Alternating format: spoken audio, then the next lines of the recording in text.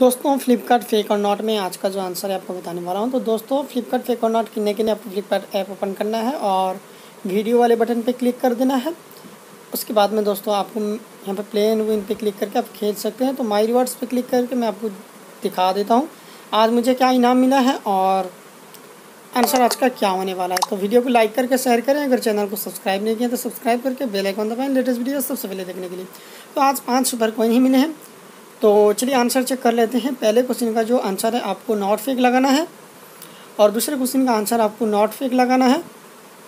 तीसरे क्वेश्चन का जो आंसर है, आपको यहाँ पे फेक लगा देना है।